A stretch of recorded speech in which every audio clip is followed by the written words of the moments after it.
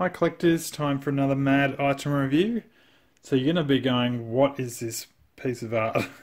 well what it is, is that it's not coming up on camera that nicely, but it is two pieces of wood that have been stuck together and somebody has intricately carved out every piece of this piece of art.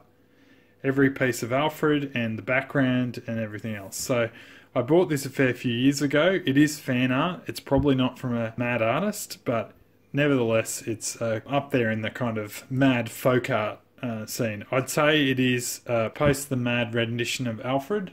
So it wouldn't be uh, one of those Alfreds from pre-mad. This would be post-mad. Anyway, so let's have a bit of a closer look.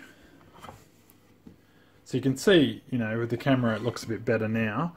And they've carved out every different piece of it. And then down there Again, the camera's not picking that up. It do definitely does look a lot better in person than it does on camera. Looks a bit haunting on this video, but uh, yeah, it definitely looks better in person. Anyway, that's all for this item. As always, if you'd like to subscribe, please do so, and we'll catch you next time.